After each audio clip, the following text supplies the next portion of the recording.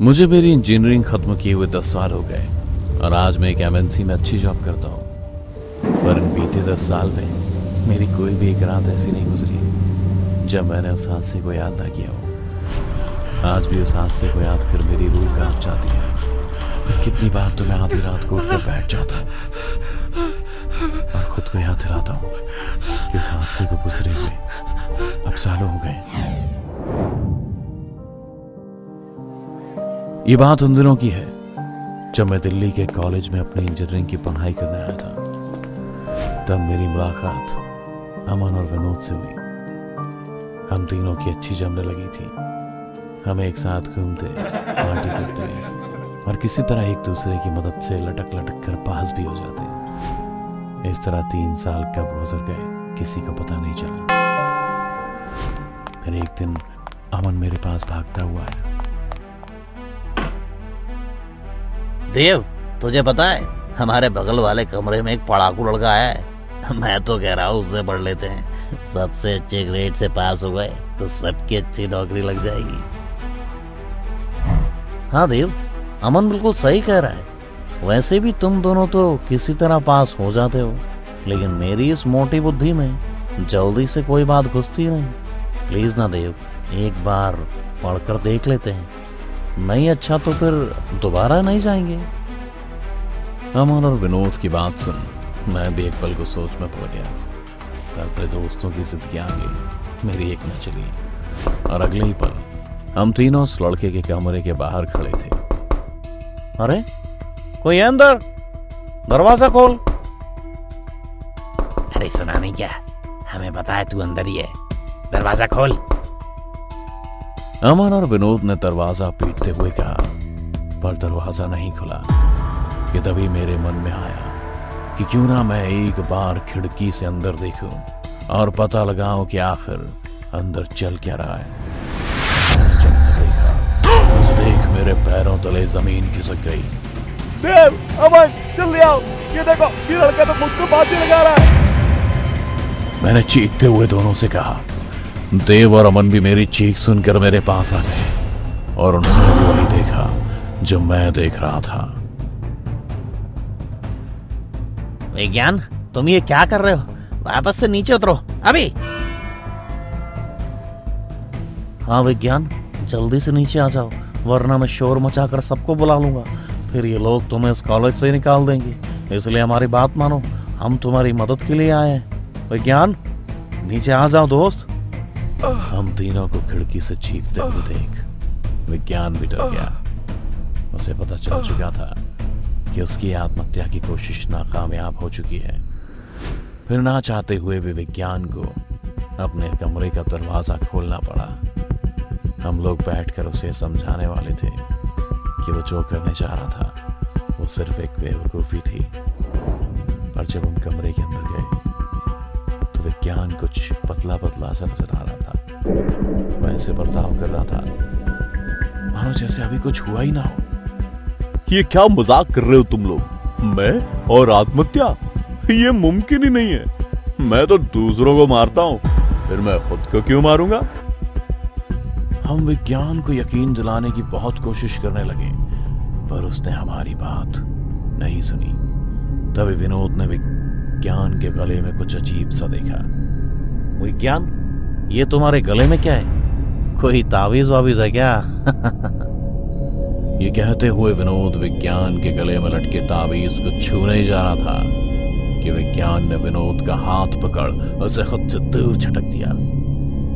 खबरदार, अगर इसे छूने की कोशिश भी करी तो ये मेरी माँ की आखिरी निशानी है, जो उनके जाने के बाद एक राक्षस से मेरी रक्षा करती है। इसीलिए इसे कभी छूने की कोशिश मत करना। तावीज की बात निकलते ही मामला संगीन हो गया। पर मैंने महज इसे एक इत्तेफाक समझ इस बात को दबाते हुए कहा। अरे अब ऐसे ही पूरी रात निकाल ली है। हम लोग तो यहाँ पढ़ने के लिए आए थे। फिर अब क्या हो गया सबको? सब कहते हुए मैंने जब विज्ञान की ओर देखा तो उसकी नज़रें विनोद को ही देख रही थी। सच कहूँ तो उसके चेहरे पर मौत की भद्दी मुस्कान थी जिसे देख मैं खुद डर गया था। वैसे विज्ञान था तो अक्लमंद, क्योंकि वो जिस तरीके से हमें समझाता, हमें पढ़ाता था, उसकी सारी बातें हमें अच्छे से याद रहती थी। वाह विज्ञान, तुम सच में कमाल के हो। तुम्हारे बारे में जो सुना था, सब कुछ सच था। भाई, तू ऐसे ही एग्ज़ाम से एक रात पहले हम सबको पढ़ा दिया कर। हम एक रात में टॉप कर जाएँगे। अमन और विनोद विज्ञान से बड़े खुश थे, पर मुझे अब विज्ञान पर शक होने लगा था। विज्ञान से पढ़ने के बाद हम सब अच्छे नंबरों से पास हो गए, पर अब बहुत कुछ बदल चुका था। विनोद ज़्यादातर अब विज्ञान के साथ रहने लगा था। और तो और, विज्ञान के आने के बाद से विनोद दो बार बड़ी बड़ी दुर्घटना में बाल बाल बचा था। और दोनों बार दुर्घटना के समय सिर्फ़ विज्ञान ही उसके साथ था। दोनों की अच्छी जमने लगी थी।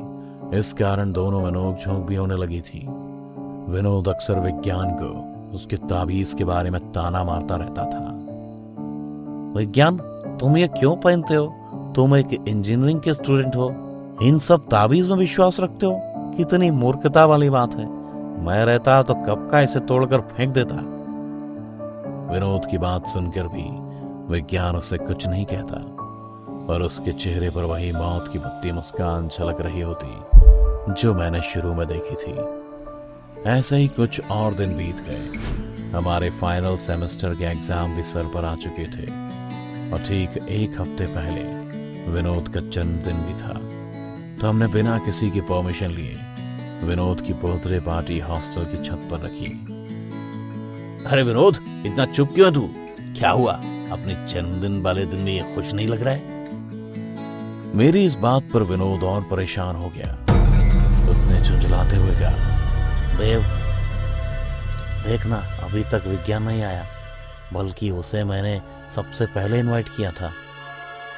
विज्ञान की तरफ़ ये विनोद का झुकाव मुझे अजीब लगा था, पर मैंने इस बात को इग्नोर कर विनोद को अपने साथ नाचने के लिए कहा। शुरू में तो उसने मना किया, पर शराब के नशे में उसे भी हमारे साथ मज़ा आ रहा था। रात काफ़ी हो चुकी थी।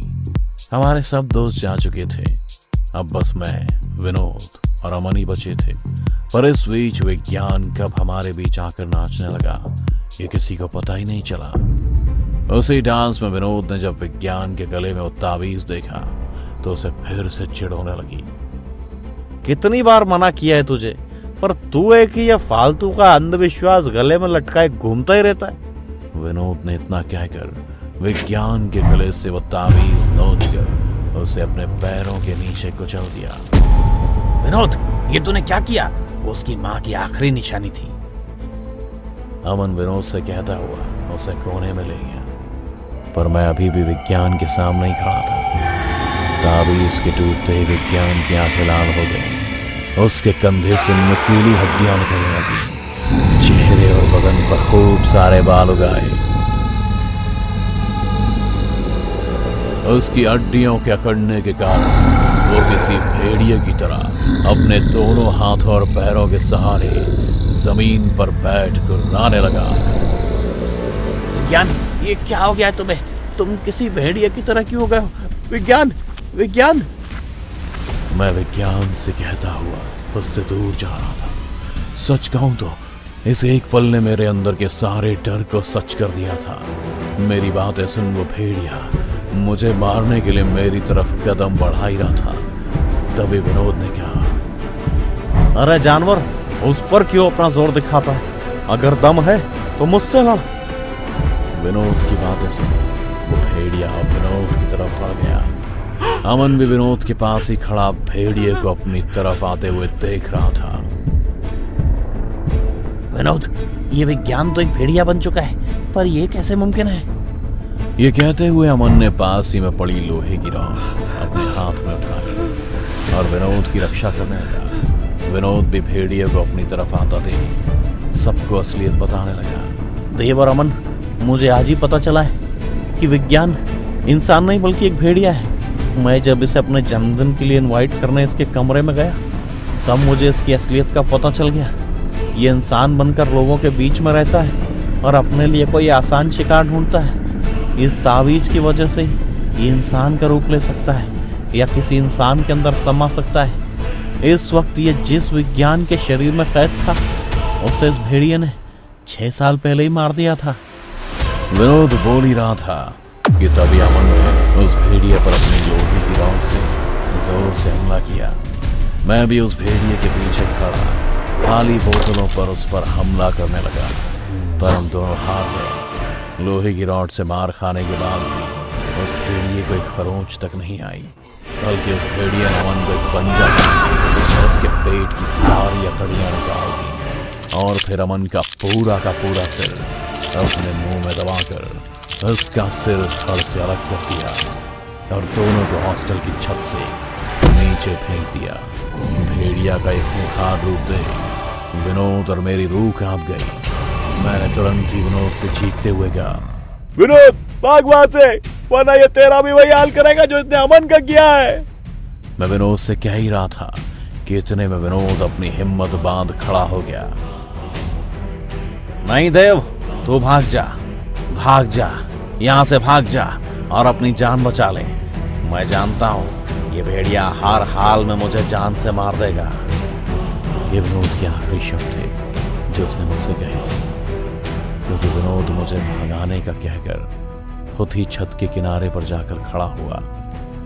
वो भेड़िया विनोद के नाम में उसकी तरफ़ दौड़ाई था कि विनोद ने पहले उसे कसकर पकड़ लिया। मैं तुझे अब और लोगों की जान नहीं लेने दूँगा। तूने जो मेरे दोस्त अमन पर हमला किया, उसका बदला तो मैं लेकर ही रहूँगा। इतना कहकर विनोद अपनी पूरी ताकत से उस भेड़िए को किनारे की ओर खींचने लगा। विनोद उस भेड़िए के जिस्म से इस तरह लिपट चुका था कि ढेर सारे हमलों के बाद भी वो भेड़िया विनोद को से अलग नहीं कर सका और धीरे धीरे भेड़िए को किनारे पर वो ले आया।